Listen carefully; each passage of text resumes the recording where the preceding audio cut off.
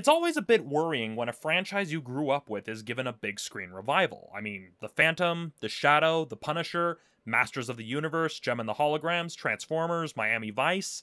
The list goes on and on for the number of disappointing adaptations that Hollywood has given us. Naturally, when Power Rangers was announced, many fans were worried that history was going to repeat itself with another hollow, watered down interpretation of a beloved franchise. However, it is with great joy that I can say that Power Rangers has managed to achieve what many thought impossible giving us a fresh new movie based on a nostalgic franchise that actually appeals to fans old and new.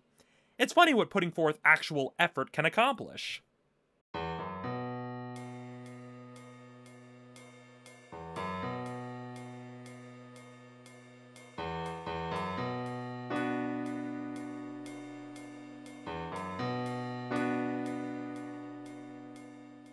It's no secret that I'm a fan of Power Rangers, and as many of you who listen to the Geek News podcast may recall, I've been following this film since it was first announced. I was cautiously optimistic going in, but coming out of it, the film managed to surpass my expectations. The film's biggest strength comes from the fact that it takes the core concept, five teenagers with attitude being given superpowers, and brings it to its logical conclusion, while at the same time embracing the more surreal aspects of that concept. The versions of the characters in this film are actual teenagers with attitude, meaning they're rebellious, they're abrasive, they have a lot of baggage, a far cry from the idealized goody goods the original series gave us. However, it still manages to make the characters relatable and even likable. Over the course of the film, you actually see them slowly grow and come together as a team.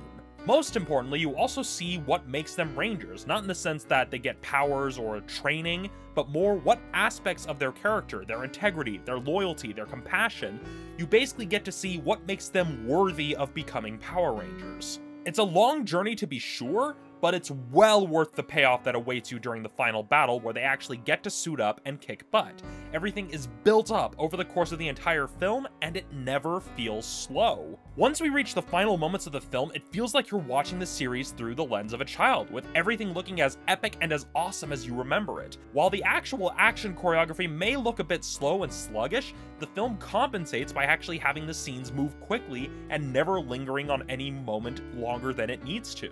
Not to mention that the banter between the well-developed characters actually makes the slower moments enjoyable. Overall, this film takes Power Rangers and elevates it to a whole new level with its well-developed and likable cast, the blend of action and comedy that knows when to play for laughs and when to be serious, and the well-paced sequence of events that builds you up like those first moments when you're on a roller coaster ride, where you're slowly taken to the top of the curb to build up all of that potential energy, with the final act of the film being that thrill ride with all the loops and corkscrews you could ask for, complete with a smooth landing that leaves you wanting more. Simply put, this film is Power Rangers. This is what you would get from Power Rangers if it was given the large budget. It's a faithful interpretation of the series that still manages to feel fresh and new. If you're a die-hard fan of the series, or even if you've never seen an episode in your life, this is a thoroughly entertaining film well worth your time. All of that said, Saban's Power Rangers gets a 5 out of 5.